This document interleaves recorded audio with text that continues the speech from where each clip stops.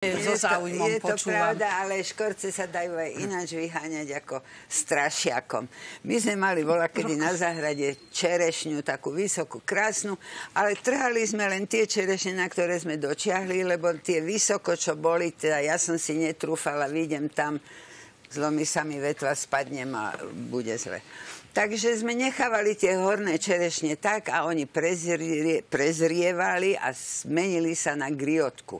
A vtedy tam chodili škorce, tým griotka najviac chutila a skutočne sa opili. Videla Ja som to na verím, vlastné to je- oči to a verím. padali z tej čerešne na zem a tam sa len tak... To sa im spieva potom. Čo?